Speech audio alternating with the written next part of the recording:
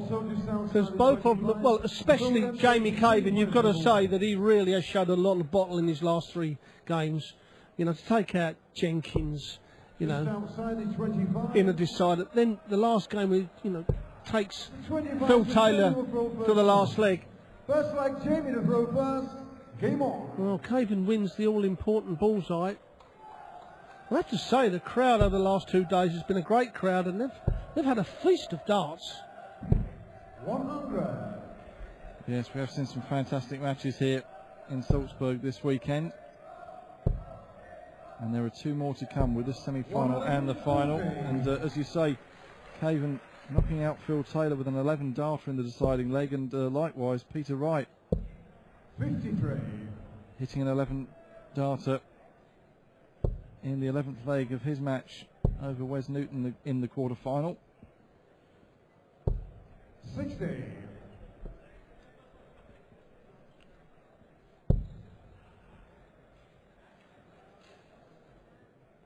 And there'll be a, a break of around about 15 or 20 minutes uh, between the semi-finals and the final, just to let the players uh, get their breath back. I'm sure Vincent van der Voort is already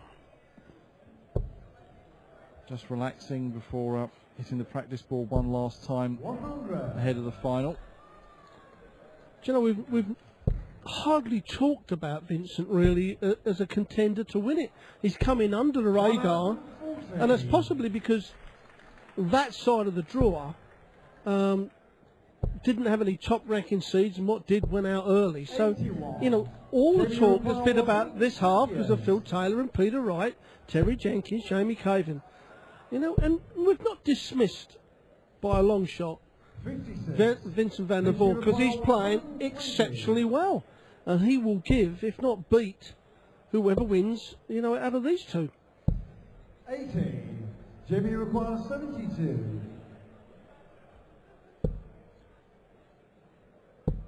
So tops for Jamie Caven for a 1-0 lead. 52. Peter requires 40. And it is double top that uh, Peter Wright also needs for an early break of throw. Shot on the first the first leg Peter to snake bite. Peter throws first. Game on. And yes, during that break before the final, I'll be digging the reference books out just to see when uh, Vincent van der Voort last reached a uh, final of a 44. PDC event. Well, it must be a long time ago, Mike, because normally I can remember things, and I can't remember that one myself. So it's a good few years, but he has been in a good rich vein of form over the last few months. 140. I'm sure Michael Van Gerwen sitting at home will be shouting for Vincent. They're very good pals. 135. They travel all over the place together. Perhaps Vincent, if he does win it, will 60. buy Michael a, a little drink for not turning up. Or perhaps go and kick him a bit harder. 125. Yes, £20,000 for the winner, £8,000 for the runner-up. Michael won the second event of the year in the European Tour on home soil in Veldhoven. Game shot on the second And a leg. good 101. Jamie Caven. Third leg is Jamie to throw first. So the first two legs going against the uh, throw. Well, if I'm not mistaken, Jamie Caven took out, was it a 101 100. to start his run of four ton plus checkouts? Or was it 104? Anyway, it was over the 100, I know that. 140.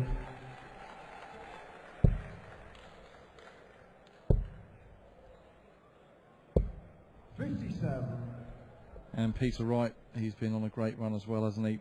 Reaching that uh, World Championship final at Ali Pali at the start of the year. One hundred. making his Premier League debut and just missing out on making the semi-finals there. He has won a Players' Championship uh, floor event in Crawley Sixty.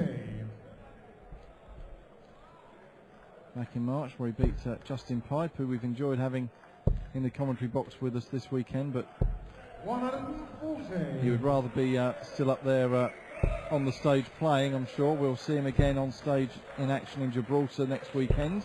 50. Feature required Yes, I can assure you, he would rather be up there playing, or Justin would.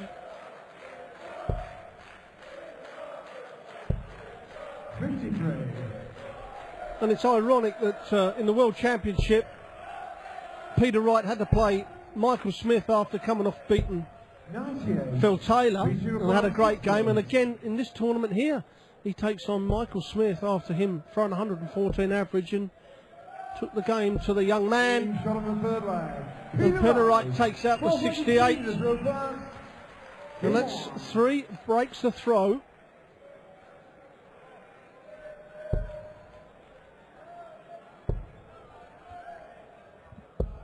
One hundred and thirty-one.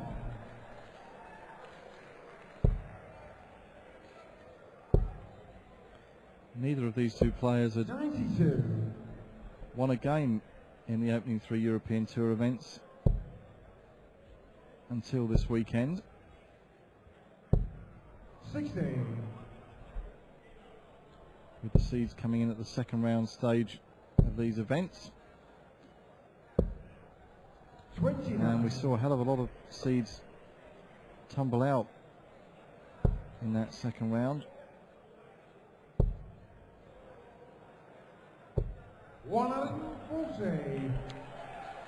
Well, he was a bit more precise with those three darts was Peter Wright.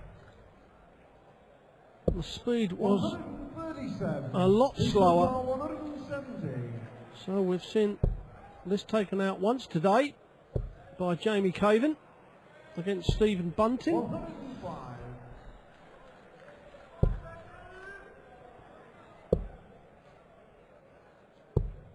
One hundred and forty-two. Feature requires sixty-five. So for a possible 14 uh, darter. Needs double 16. Thirty-three. Jamie, you require one hundred and one. Again, that last dart of Jamie's at the 25. I don't understand that, although he's going to get a dart at the double. That double being double top. Took this out earlier on. Perhaps that's why he left the 101, because he was confident of taking out it again. But um, he went for the 25 to leave the 101, where, in my opinion, he should have gone for a treble to leave under the 101. Would have left a two dart combination instead of the three. This time it didn't matter. However, when we talk about percentages, the percentages will not be in his favour doing that too often. Forty-three.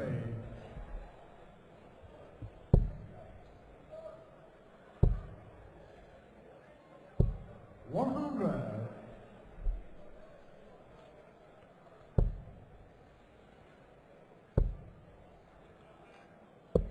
One hundred and thirty-seven. Yes, I mentioned the Gibraltar Darts Trophy next weekend. And uh, then next month in July, we'll see a lot of these guys at the uh, World Match Play in Blackpool. Always a good week in the sunshine by the seaside. Sixty. Yes, a lovely old arena the Winter Gardens. One hundred and seventy-seven. Certainly seen a lot of famous people on that stage finally, are we going to see a throw? What a Held, so 52 double top for Caven. That's a bit wild. Oh, and Liam too. Those two were not close. So that 180 has given Peter Wright a massive chance here. Looking at the 57, treble 19. 12 for the bullseye. Hasn't even flirted with the treble 12. 56.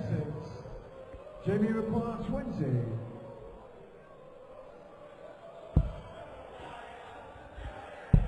Game shot on the fifth leg.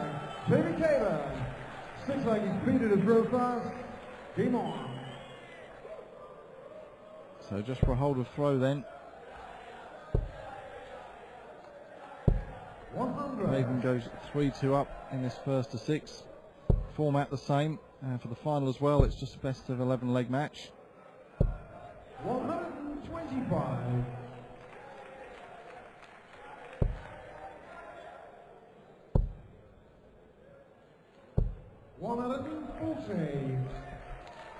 Well, the pace of the game again suits both players. They haven't got to stand back and wait and start thinking about, you know, what they've got to do is just straight up their autopilot.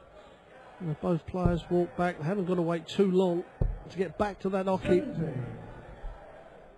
Whoever they, one of these plays, the final will be exactly the same. Obviously, Van der Voort, the quickest player in the game, and he could easily slow his throw down to a blur at times.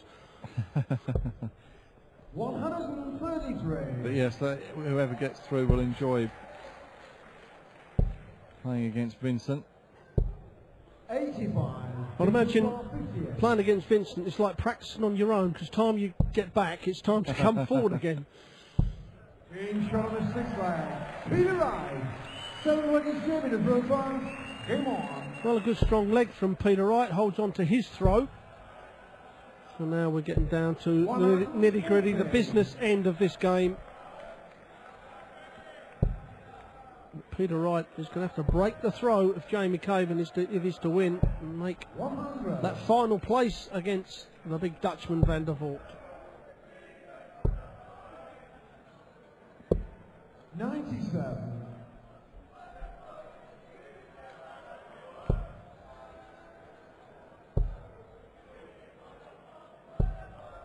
And another maximum comes flying in from Peter Wright.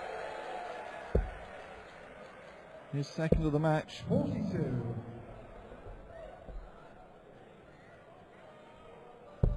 Well, certainly the power scoring is being led by Peter Wright.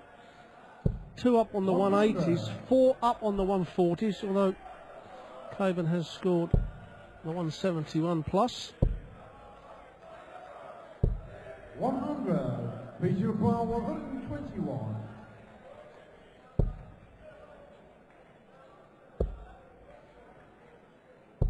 Ninety-seven. Jamie Require 122. So 104 left. He wants the bullseye now. 91. Peter Require 24. Especially set it all a long way off, so now Peter Wright for a break of flow. Game shot the seven flag. Peter Wright. A flag is Cleveland thrown first. Game on. And now, certainly it was to hold the try. No. No. My mistake. It's been a long day.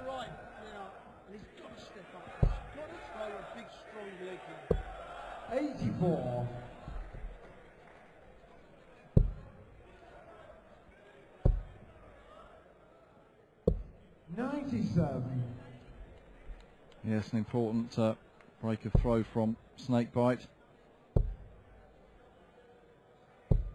60. As he looks to book his place in tonight's final against Vincent van der Voort. 140. it's okay now. I just got turned down without me realising. 100.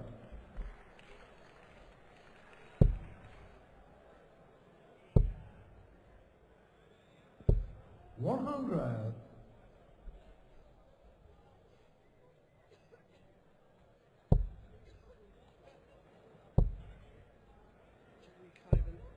Eighty-five. Jamie, you require one hundred and sixty-four. He's going to get six.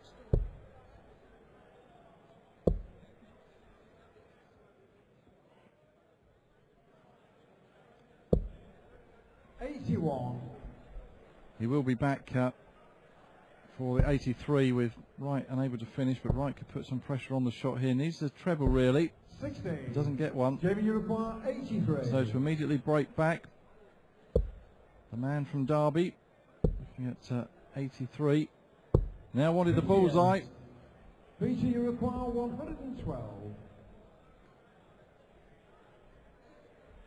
So this would put him one leg away from victory and a place in the final.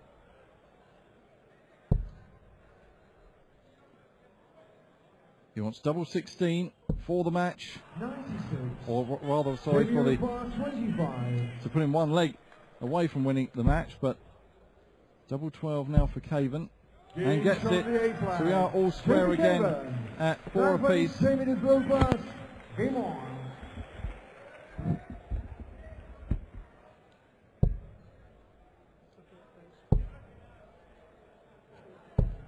Sixty. Well, four legs apiece. When we said at the beginning of the game it was going to go all the way, and it looks exactly like it's going to go. And another 180 comes in from Peter Wright. Yes, it's just a best of three match now, effectively. One hundred.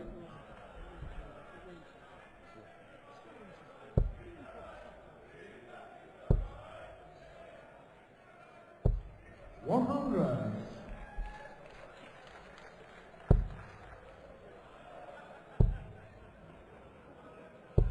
One hundred and forty. Well, he's certainly hotting up now this game. A final place beckons Wright or Caven. Uh, Caven needs to find a couple of trebles, needs the 1-3-4. That puts the pressure on. Brilliant switch from Jamie Caven. Twenty-one.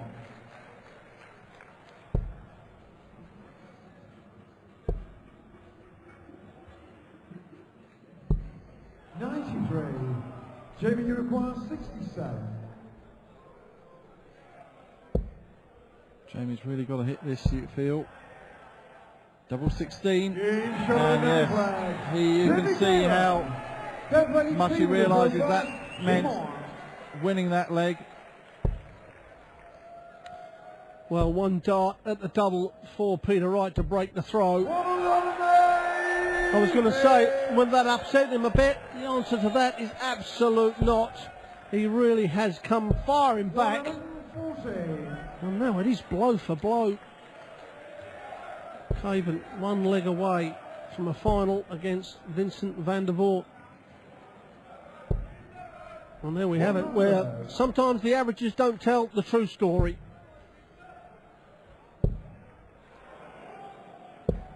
Twenty-five. A little wry smile there.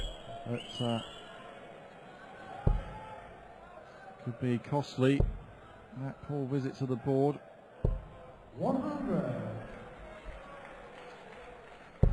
So it looks like yet again we're going to an 11th and deciding leg and One hundred. Jamie Caven must be getting used to that now. He's had to get over the finishing line in the deciding leg for every one of his matches played so far this weekend here in Salzburg. And Wright will be back for double 18. One of the So a great time to bang out a 180 to put some pressure on the shot. That's a great marker. And so is that. Well, he walked on both of those. He thought they were both in. Needs to put this one in though. Oh, again, Peter um, magnificent dart from Peter Wright. I mean, he literally walked over the oche on both those first two. We are five all. We are down to the deciding leg. Who is going to throw that 11 dart leg and meet Van der Voort in the final? The Austrian Darts Open here in Salzburg. One hundred and forty. Well, certainly been no let up in the quality One hundred and forty. of the matches as the heat rises in this Salzburg arena and these players have been here for some good few hours and whoever gets to the final will be playing their fourth match of the day. Well, both players have hit four trebles out of their first six darts.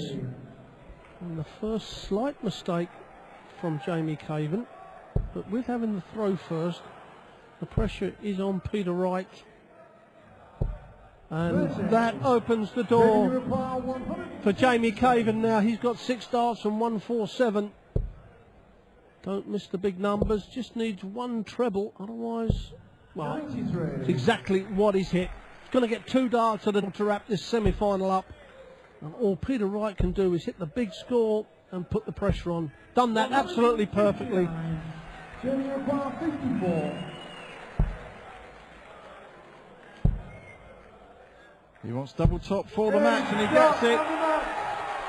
He went around the houses to get there, but he's through to the final of this Austrian Open. He will take on Vincent van der Voort in around about 15 or 20 minutes. Go and make yourself a nice drink, plump up your cushion. I'm sure we're in for a fantastic final between Caven and van der Voort.